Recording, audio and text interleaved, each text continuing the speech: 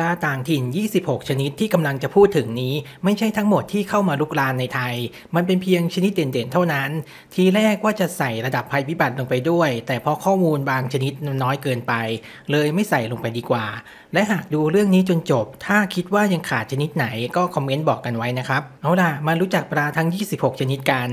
ถ้าชอบเรื่องนี้ก็อย่าลืมกดติดตามกดกระดิ่ง คอมเมนต์เป็นกำลังใจ หรือจะสนับสนุนค่าขนมผ่านช่องทางขอบคุณ ให้กับช่องสิงสารศาสตร์ก็ได้นะครับ ชนิดที่ 1 ปลาหมอสีคางดำขยายพันธุ์ในธรรมชาติได้ ปลาหมอสีคางดำมีความยาวประมาณ 20 เซนติเมตร เดิมพวกมันอยู่ในทวีปแอฟริกา เป็นปลาที่ชอบอาศัยอยู่บริเวณปากแม่น้ำที่เป็นน้ำก่อย ปลาชายเลนจนถึงชายฝั่งทะเล และยังอาศัยในน้ำจืดหรือในแม่น้ำได้ด้วย การมาถึงไทยของปลาหมอสีคางดำเริ่มจากบริษัท CPF ในช่วงปี พศ 2549 พวกเขาได้รับอนุญาตจากกรมประมงให้นำเข้าปลาชนิดนี้มาได้ จนในปี พศ 2553 บริษัทได้แจ้งว่าปลาเริ่มตายและทำลายซากหมดแล้ว และนี่คือจุดเริ่มต้นของการลุกลาน ข่าวการระบาดของปลาหมอสีคางดำเริ่มมาตั้งแต่ปี พศ 2555 และต่อเนื่องมาจนถึงทุกวันนี้ ไม่ว่าหน่วยงานจะทุ่มงบนับล้าน เพื่อรับซื้อปลาหมอสีคางดำหรือจะใช้สารเคมีเพื่อลดจำนวนปลาก็ไม่เป็นผล เพราะพวกมันขยายพันธุ์ได้ดีกว่าปลานิลซะอีก และที่สำคัญคนไทยไม่นิยมกินปลาหมอสีคางดำชนิดที่ 2 ปลาซักเกอร์ ขยายพันธุ์ในธรรมชาติได้ แรกเริ่มปลาชนิดนี้ถูกนำเข้ามาโดยกลุ่มผู้เพาะเลี้ยงปลาสวยงาม พวกเขาได้มีการนำเข้าปลาซักเกอร์มาจากประเทศบราซิล โดยมีเจตนาเลี้ยงเพื่อให้พวกมันทำความสะอาดตู้ปลา ซึ่งปีที่นำเข้ามาคือ ปีพศ 2520 แต่อาจจะมีการนำเข้ามาก่อน แต่ไม่ได้บันทึกเอาไว้ โดยปลาในวงนี้มีมากมายหลายชนิด แต่ชนิดที่มีปัญหามากที่สุดคือปลาซักเกอร์ธรรมดา เนื่องจากมันตัวใหญ่และทนทานมาก พวกมันอยู่ได้อย่างไม่ยากลำบาก แม้ในน้ำจะมีออกซิเจนต่ำเกินกว่าที่ปลาส่วนใหญ่จะอยู่ได้ แม้แต่ในคลองน้ำเสียของประเทศไทยก็แทบจะไม่มีปัญหาในการก่อตั้งอาณานิคมของพวกมันเลยด้วยซ้ำปลาซักเกอร์มีระดับการทำลายล้างที่สูงมาก พวกมันจะทำลายหรือกินไข่ปลาและลูกปลาขนาดเล็ก จนเป็นเหตุให้ปลาท้องถิ่นหลายชนิดในประเทศไทย มีประชากรลดลงอย่างรวดเร็ว ซึ่งโดยธรรมชาติแล้ว ปลาในประเทศไทยหลายชนิดมักจะวางไข่ติดตามรากไม้หรือก้อนหิน และปลาซักเกอร์เองก็เป็นปลาที่กินซากพืชซากสัตว์ หรือตะไคร่น้ำที่ติดตามวัสดุต่างๆ ใต้น้ำดังนั้นไข่ที่ติดอยู่จึงถูกกินไปด้วย ชนิดที่ 3 ปลาพีคอกแบดขยายพันธุ์ในธรรมชาติได้ ปลาพีคอกแบดอาจเป็นปลาชนิดแรก ๆ ในไทยที่ถูกนำเข้ามาเพื่อกีฬาตกปลา โดยจุดเริ่มต้นเป็นบ่อตกปลาที่ราชบุรี ซึ่งเป็นเรื่องเมื่อหลายสิบปีก่อน แต่ครั้งนั้นปลายังอยู่ในบ่อและมีจำนวนที่น้อยหลังจากนั้นไม่นานปลาชนิดนี้ก็ถูกนำเข้ามาโดยนักตกปลาชาวไต้หวัน เขาได้นำปลามาปล่อยในอ่างเก็บน้ำผู้หวาย ซึ่งจนถึงทุกวันนี้ก็ยังมีปลาชนิดนี้อาศัยอยู่ จากวันนั้นพีคอกแบดชุดแรกๆ เริ่มแพร่ขยายพันธุ์จนเต็มไปหมด มันอยู่ตามอ่างเก็บน้ำบางแห่งเช่น อ่างเก็บน้ำห้วยเกษมและแหล่งน้ำเล็กๆ ใกล้เคียง แต่ยังโชคดีที่พวกมันไม่ได้ขยายจนน่ากลัว เนื่องจากขยายพันธุ์ได้ค่อนข้างช้า ประกอบกับเป็นปลาที่มีเนื้อค่อนข้างดี ชาวบ้านจึงตกและจับกินไปบางส่วน สุดท้ายจึงมีมากในบางพื้นที่เท่านั้น ชนิดที่ 4 ปลาหมอมายัน ขยายพันธุ์ในธรรมชาติได้ ปลาหมอมายันจัดเป็นปลาหมอสีที่อยู่ได้ทั้งน้ำจืดและน้ำก่อย มันยาวได้ประมาณ 20 เซนติเมตรและอาจได้ถึง 30 เซนติเมตร เป็นปลาที่ทนทานอย่างเหลือเชื่อ อยู่ได้ในน้ำออกซิเจนต่ำ เป็นนักล่าที่เก่ง และมีนิสัยดุร้ายห่วงถิ่น ปลาหมอมายันเป็นปลาที่มีถิ่นกำเนิดในอเมริกากลาง พบประวัติการลุกลานในประเทศไทยครั้งแรกในปี พศ 2548 โดยจับได้ที่คลองเชื่อมกับแม่น้ำเจ้าพระยาเขตบางขุนเทียน และมีการจับได้โดยชาวประมงในปี พศ 2549 โดยใช้รอบข่ายและเบ็ดตกปลา จัดเป็นปลาที่มีอันตรายต่อระบบนิเวศเป็นอย่างมาก แต่ยังไม่เท่ากับปลาหมอสีคางดำในตอนนี้ ชนิดที่ 5 ปลาหมอบัตเตอร์ ขยายพันธุ์ในธรรมชาติได้ ปลาหมอบัตเตอร์ เป็นปลาหมอสีที่มีขนาดใหญ่ มีขนาดประมาณ 40 เซนติเมตร มีถิ่นกำเนิดในแอฟริกาตะวันตก มันตัวใหญ่กว่าปลาหมอสีคางดำและปลาหมอมายัน แต่โชคดีที่มันอร่อยกว่า ถ้าจับได้แนะนำให้เก็บมันไปกินซะ เป็นปลาหมอที่มีหน้าตาคล้ายกับปลานิลมากที่สุด ในประเทศไทยปลาหมอบัตเตอร์ จัดเป็นปลาหมอสีที่มีราคาถูก จึงมีคนนำไปปล่อยในธรรมชาติมาก ในเขื่อนบางแห่งโดยเฉพาะเขื่อนศรีนครินทร์คุณจะตกปลาหมอบัตเตอร์ได้มากกว่าปลานิลซะอีก และมันก็ตัวใหญ่มากด้วย ชนิดที่ 6 ปลาเรนโบว์เทราต์ขยายพันธุ์ในธรรมชาติไม่ได้ ปลาเรนโบว์เทราต์หรือปลาเทราต์สายรุ้งเป็นหนึ่งในร้อยสายพันธุ์รุกรานที่เลวร้ายที่สุดในโลก และปลาชนิดนี้ก็พบได้ในประเทศไทย โดยมันถูกนำเข้ามาทดลองเลี้ยงในโครงการหลวง บริเวณสถานีเพาะเลี้ยงใกล้กับอุทยานแห่งชาติดอยอินทนนท์เมื่อปีพศ 2541จากการสำรวจมีการพบลูกปลาหลุดออกมาจากบ่อเลี้ยง นอกจากนี้ยังเคยมีการตกปลาขนาดใหญ่ได้บริเวณท้ายน้ำลงมา ซึ่งถือว่าอันตรายต่อปลาที่อาศัยอยู่ในแหล่งน้ำบนดอย แม้จำนวนปลาที่หลุดออกมาจะไม่มากนัก แต่ก็ไม่ใช่เรื่องดีสำหรับปลาท้องถิ่นที่ถือว่าเป็นปลาต้นน้ำชนิดที่ 7 ปลาหมอเทศ ขยายพันธุ์ในธรรมชาติได้ ปลาหมอเทศเป็นปลาอีกชนิดหนึ่งที่คล้ายกับปลานิลมากๆ แต่จะมีรูปร่างเล็กกว่า เป็นปลาที่ยาวได้ถึง 40เซนติเมตร แต่ทั่วไปจะยาวแค่ 20เซนติเมตร จุดแตกต่างที่เห็นได้ชัดของปลาหมอเทศและปลานิลคือ ปลาของปลาหมอเทศจะยาวกว่า และไม่มีแถบหรือลายบนคีบ แต่จะมีปื้นสีจางบนแก้มของปลาตัวผู้ ปลาหมอเทศมีถิ่นกำเนิดในทวีปแอฟริกา แถวแถวแอฟริกาตะวันออกเฉียงใต้ และถูกนำเข้ามาในประเทศไทยครั้งแรกในปี พศ 2492 โดยนำมาจากปีนัง เพื่อส่งเสริมเกษตรกรเลี้ยงเป็นอาชีพ แต่มีความนิยมน้อยกว่าปลานิลเนื่องจากเนื้อค่อนข้างแข็งและมีขนาดเล็ก จนในปี พศ 2511 ได้มีการนำเอาปลาหมอเทศไปผสมข้ามสายกับปลานิลจนเกิดเป็นปลานิลแดง ชนิดที่ 8 ปลาเฉาขยายพันธุ์ในธรรมชาติไม่ได้ ปลาเฉาหรือเฉาอื้อ ขนาดเมื่อโตเต็มที่จะยาวได้ถึง 100 เซนติเมตร แต่โดยเฉลี่ยจะยาวประมาณ 50-70 เซนติเมตร มีรูปร่างยาวทรงกระบอก หัวเล็กและกลมมน ในช่องคอมีฟันที่แข็งแรงและไม่มีหนวดตามบันทึกในปีพศ 2465 ปลาเฉาถูกนำเข้ามาในประเทศไทยทางเรือสำเภาโดยชาวจีนผ่านทางฮ่องกง จากนั้นก็ถูกนำเข้ามาเลี้ยงอย่างต่อเนื่องเพื่อใช้ประกอบอาหาร ต่อมากรมประมงได้ทดลองเพาะขยายพันธุ์ด้วยวิธีฉีดฮอร์โมนจนสำเร็จในปีพศ 2509 จึงได้มีการขยายพันธุ์ปลาชนิดนี้ในประเทศไทยได้สำเร็จจนถึงปัจจุบัน โดยปลาจะไม่สามารถไข่ได้เองตามธรรมชาติ แต่จะเกิดขึ้นจากการฉีดฮอร์โมนกระตุ้นเท่านั้น ชนิดที่ 9 ปลาลิ่นขยายพันธุ์ในธรรมชาติไม่ได้ ปลาลิ่นหรือปลาเกตเงิน มีขนาดประมาณ 30-50 เซนติเมตร แต่จะพบใหญ่สุดอยู่ที่ 100 เซนติเมตร ปลาลิ่นถูกนำเข้ามาในประเทศไทยช่วงปี พศ 2465 ถึง 2475 โดยถูกนำเข้ามาพร้อมกับชาวจีนทางเรือสำเภา ต่อมากรมประมงและคณะประมงมหาวิทยาลัยเกษตรศาสตร์ ได้ทำการทดลองผสมเทียมขึ้นจนประสบความสำเร็จ ชนิดที่ 10 ปลาส้งขยายพันธุ์ในธรรมชาติไม่ได้ ปลาส้งหรือปลาส้งอื้อหรือปลาหัวโต ขนาดทั่วไปจะอยู่ที่ 60 เซนติเมตร แต่ขนาดใหญ่ที่สุดเท่าที่เคยถูกจับและบันทึกไว้คือ 146 เซนติเมตร โดยเป็นปลาที่มีลักษณะเดียวกับปลาลิ่น ทั้งเรื่องขนาดและถิ่นกำเนิดก็เป็นแหล่งเดียวกัน แต่ถ้าว่าปลาส้งจะมีหัวที่โตกว่าปลาลิ่น และส่วนท้องมนกลมไม่เป็นสันแคบเหมือนกับปลาลิ่น ตามบันทึกปลาส้งถูกนำเข้ามาในประเทศไทยในช่วงเดียวกับปลาลิ่นหรือช่วงปีพศ 2465 ถึง 2475 โดยเรือสำเภาชาวจีนจากเมืองสัวเถา ต่อมากรมประมงสามารถเพาะขยายพันธุ์ได้ด้วยวิธีฉีดฮอร์โมนและผสมเทียม ซึ่งปลาในธรรมชาติจะไม่วางไข่เองเช่นกัน ชนิดที่ 11 ปลาหลีอื้อขยายพันธุ์ในธรรมชาติไม่ได้ ปลาหลีอื้อหรือปลาในหรือปลาคาร์ฟธรรมดา เป็นปลาน้ำจืดในวงปลาตะเพียน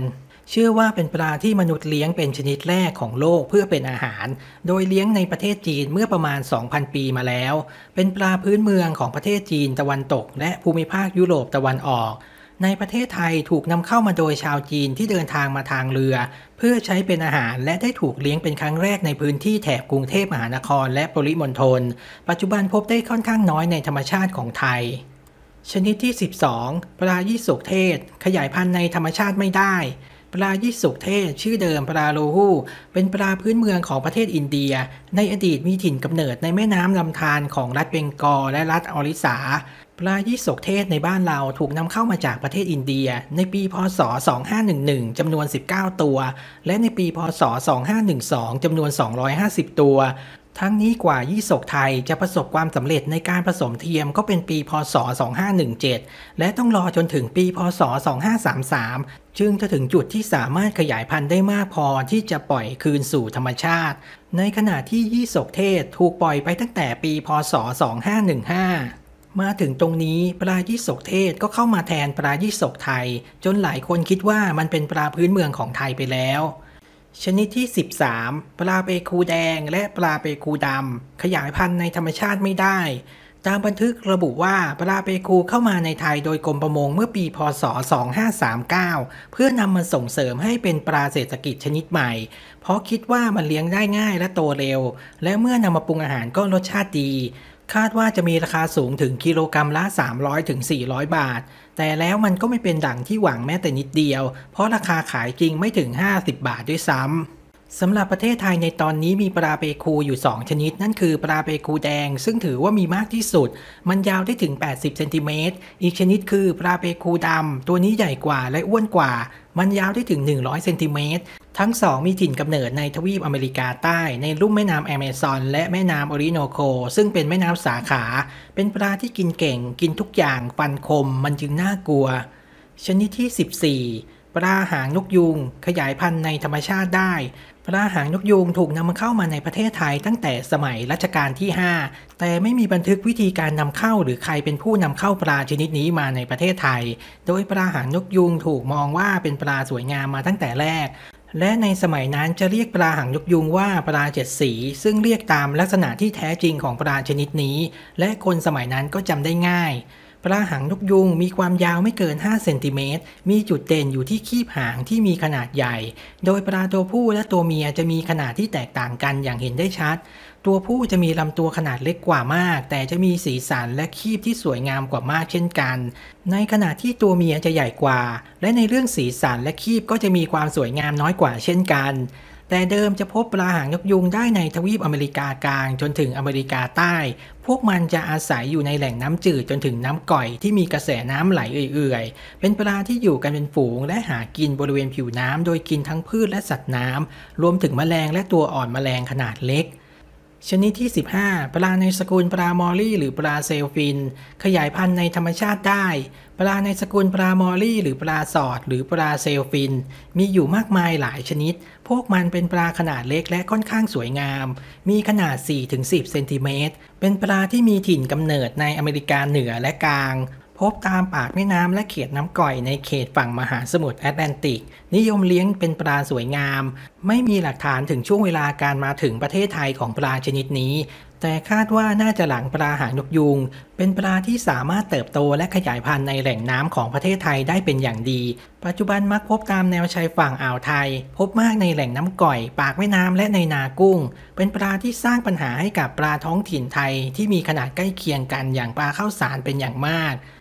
ชนิดที่ 16 ปลานินขยายพันธุ์ในธรรมชาติได้ ปลานินถือเป็นปลาต่างถิ่นที่ประสบความสำเร็จมากที่สุด ความจริงมันเป็นปลาเพียงไม่กี่ชนิดที่ถูกนำเข้ามาจากต่างประเทศ และสามารถเลี้ยงปากเลี้ยงท้องคนไทยได้อย่างแท้จริง แต่เพราะมีปลานินในแหล่งน้ำธรรมชาติจำนวนมหาศาล มันก็ทำให้ปลาท้องถิ่นไทยจำนวนมหาศาลต้องหายไปเช่นกัน โดยถิ่นกำเนิดเดิมของปลานินคือลุ่มแม่น้ำนายทางตอนเหนือและกลางของทวีปแอฟริกา แต่ปลาชนิดนี้ถูกส่งมาโดยจักรพรรดิอากิฮิโตะแห่งประเทศญี่ปุ่น ทรงจัดส่งปลานินจำนวน 50 ตัว ถวายแด่พระบาทสมเด็จพระเจ้าอยู่หัว เมื่อวันที่ 25 มีนาคม ปี พศ 2508 จากนั้นก็มีการทดลองเลี้ยงและขยายพันธุ์ต่อไปเรื่อยๆ จนในปี พศ 2509 พระบาทสมเด็จพระเจ้าอยู่หัว ทรงพระราชทานชื่อปลาชนิดนี้ว่าปลานิน โดยปลานินจะยาวได้ถึง 60 เซนติเมตร มีลำตัวสีเงินอมฟ้าออกเทา มีลายที่ไม่ชัดเจน 6-7 แถบ คีบต่างๆ โดยเฉพาะหางจะมีสีชมพู ทั้งนี้ปลานินในปัจจุบันแตกต่างจากเดิมไปมาก เนื่องจากมีการพัฒนาสายพันธุ์ออกไปมาก ทั้งโตเร็วขึ้น เนื้อเยอะขึ้น หัวเล็กลง มีเนื้อออกสีชมพูแลดูน่ากิน เป็นหนึ่งในปลาที่คนไทยนิยมกินมากที่สุด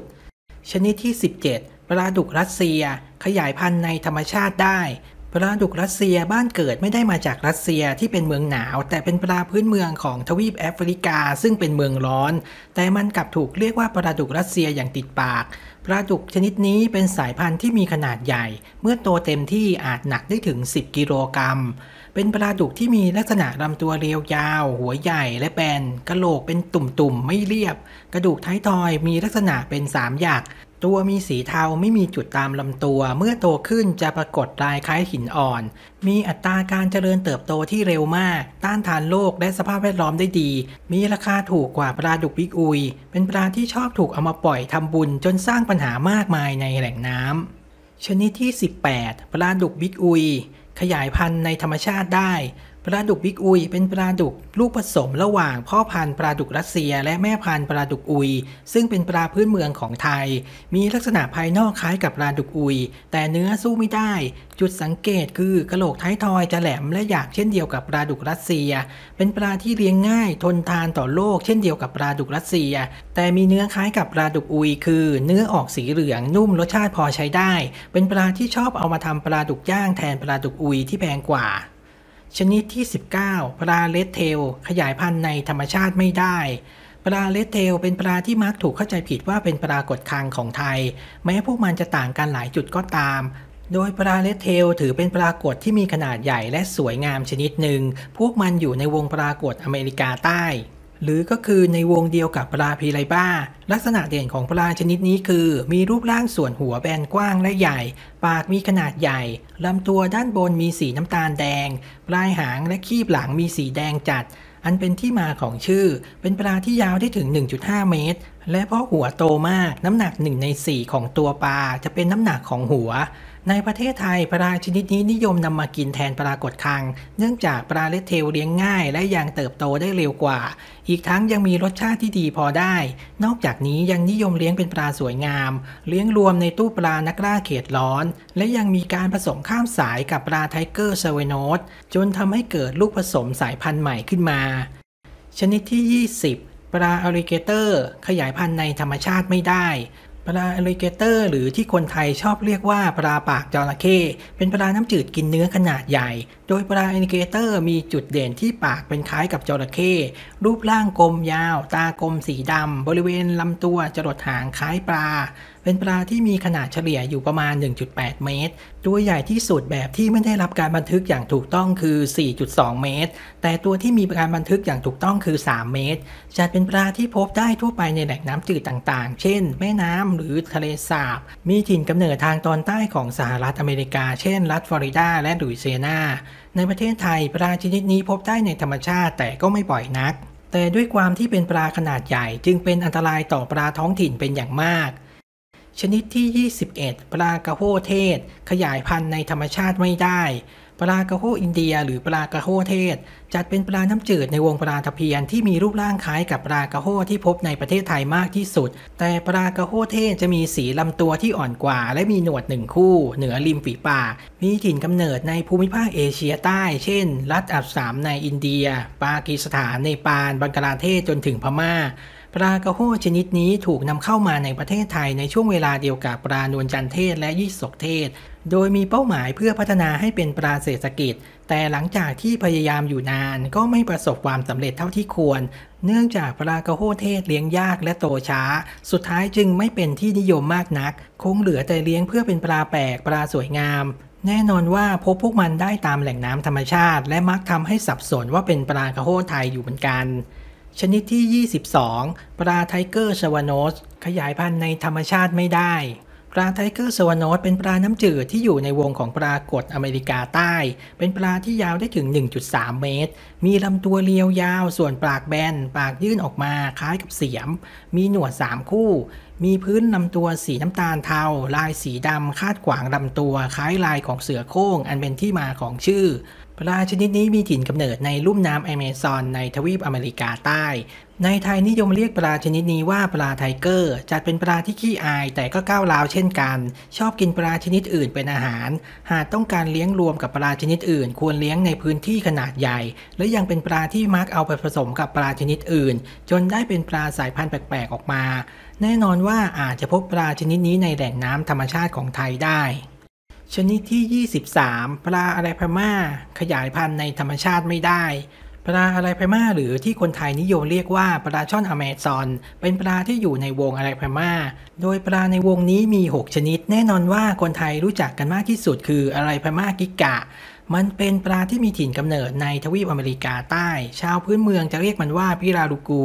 โดยปลาอะไรไปมาชนิดนี้มีลักษณะคล้ายกับปลาช่อน แต่ตัวใหญ่กว่ามาก มันไม่มีหนวดซึ่งแตกต่างจากอะไรไปมาชนิดอื่นที่อยู่ในวงเดียวกัน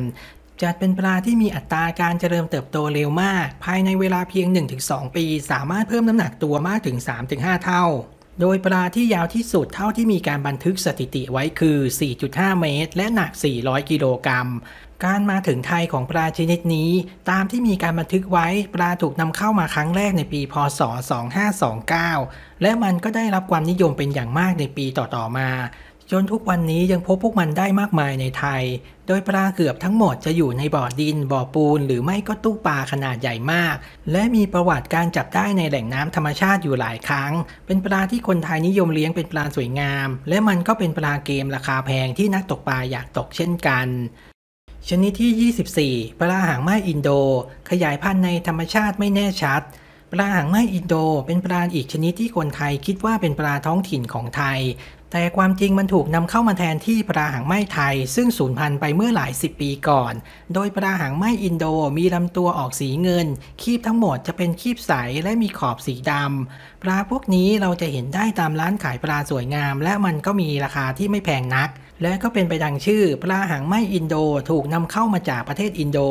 นิยมซื้อมาเลี้ยงในตู้ปลาแม่น้ำมาก จึงมีการปล่อยลงในแม่น้ำธรรมชาติของไทยมากเช่นกัน เป็นปลาที่เริ่มหาได้ยากแม้ในถิ่นกำเนิดของมัน ชนิดที่ 25 ปลากินยุง ขยายพันธุ์ในธรรมชาติได้ ปลากินยุงมีลักษณะคล้ายกับปลาหางนกยุง แต่ปลากินยุงมีขนาดที่ใหญ่กว่า ปากแหลมและปลายปากจะเชิดขึ้นด้านบน ปลากินยุงเป็นปลาที่มีถิ่นกำเนิดดั้งเดิมอยู่ที่ทวีปอเมริกาเหนือ มีพฤติกรรมเหมือนกับปลาหางนกยุง ในประเทศไทยพบในห้วยหนองคลองบึง และในที่ที่มีแหล่งน้ำไม่สะอาดที่มีออกซิเจนต่ำชนิดที่ 26 ปลานวลจานเทศ ขยายพันธุ์ในธรรมชาติไม่ได้ ปลานวลจันเทศเป็นปลาที่ยาว 50-60เซนติเมตรอยู่ในวงปลาตะเพียน รูปร่างโดยทั่วไปจะคล้ายกับปลานวลจันที่พบได้ในประเทศไทย ปลานวลจันเทศเป็นปลาพื้นเมืองที่พบทางเหนือของภูมิภาคเอเชียใต้ พบกระจายพันธุ์ในแม่น้ำคงคา แม่น้ำสินธุจรดจนถึงแม่น้ำอิรดีของพม่า ถูกนำเข้ามาในประเทศไทยครั้งแรกเมื่อปี พศ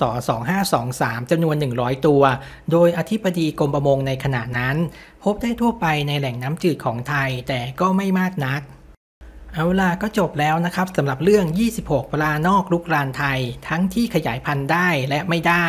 สุดท้ายก็หวังว่าข้อมูลส่วนนี้จะมีประโยชน์กับทุกคนไม่มากก็น้อย ถ้าดูแล้วชอบก็อย่าลืมกดติดตาม กดกระดิ่ง คอมเมนต์เป็นกำลังใจ หรือจะสนับสนุนค่าขนมผ่านช่องทางขอบคุณ ให้กับช่องสิงสาราศาสตร์ก็ได้นะครับสำหรับตอนนี้ก็ขอลาไปก่อนบ๊ายบาย